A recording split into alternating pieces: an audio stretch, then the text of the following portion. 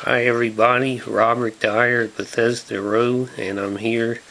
with the new Shamrock Shake that just came out today at the both McDonald's in Bethesda, East West Highway and River Road. And this